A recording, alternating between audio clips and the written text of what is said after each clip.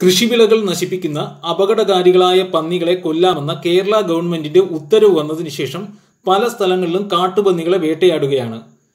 കർഷകരോടുള്ള സ്നേഹം കൊണ്ടാണ് ഗവൺമെന്റ് ഈ നിലപാട് എടുത്തതെങ്കിൽ ആ നിലപാട് ഒന്ന് പുനഃപരിശോധിക്കേണ്ടതാണ്. കാരണം പന്നികൾ കൂട്ടത്തോടെ വേട്ടയാടപ്പെടുന്നത് മനുഷ്യന് തന്നെ നാശമായി ഭവിക്കുന്നതാണ്. എന്തെന്നാൽ നാം ചിന്തിക്കേണ്ട ഒരു കാര്യമുണ്ട്.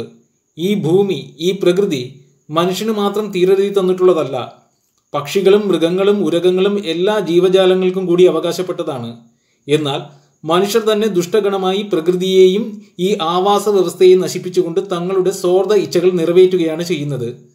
അതിന്റെ തിരിച്ചടികൾ പ്രകൃതിയിൽ നിന്ന് തന്നെ വന്നു. രണ്ട് പ്രളയങ്ങളുടെ രൂപത്തിൽ. എന്നിട്ടും ഇവിടുത്തെ ജനത അതിൽ നിന്നും ഒന്നും ഉൾക്കൊണ്ടില്ല. വീണ്ടും ദുഷ്ടതയിലോട്ട് നീങ്ങുകയാണ്.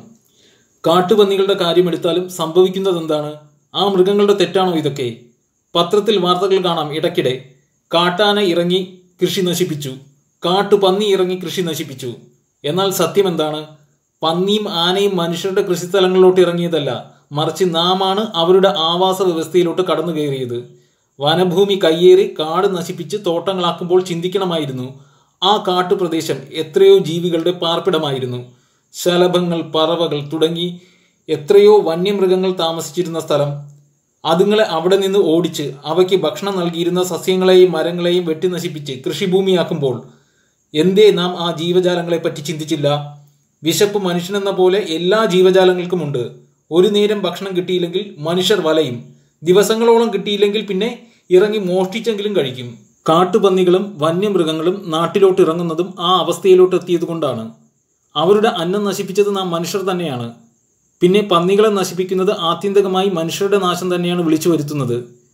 അതെങ്ങനെയെന്നാൽ കാട്ടിലെ മാംസഭോജികളായ പുലി കടുവ കുറുക്കൻ ഇവയുടെ ഭക്ഷണം പന്നി പോലുള്ള സസ്യഭോജികളായ മൃഗങ്ങളാണ്. കാട്ടുപന്നികളെ കൂട്ടത്തോടെ വേട്ടയാടുമ്പോൾ മാംസഭോജികളായ മൃഗങ്ങൾക്ക് ലഭിക്കേണ്ട മാംസത്തിന്റെ ലഭ്യത കുറയും. അങ്ങനെ വരുമ്പോൾ മാംസഭോജികളായ മൃഗങ്ങൾ നാട്ടിലോട്ട് ഇറങ്ങും പിന്നെ ഇവ ഭക്ഷണമാക്കുന്നത് നാട്ടിലെ കന്നുകാലികളെയോ മറ്റു വളർത്തുമൃഗങ്ങളെയോ ആയിരിക്കും. ചില സാഹചര്യങ്ങളിൽ മനുഷ്യരെ തന്നെ ആക്രമിച്ച് നരഭോജികളായി മാറുകയും ചെയ്യും. അതിനാൽ കാട്ടുപന്നികളെ കൊല്ലുന്ന പ്രവണതയിൽ നിന്നും കർഷകർ പിൻവാങ്ങേണ്ടതാണ്. ഇല്ലെങ്കിൽ നമ്മുടെ നാശമായിരിക്കും അതിന്റെ പരിണിത ഫലം. പ്രകൃതി എല്ലാ ജീവജാലങ്ങളെയും ഓരോ ഉദ്ദേശ ലക്ഷ്യത്തോട് തന്നെയാണ് സൃഷ്ടിച്ചിട്ടുള്ളത്.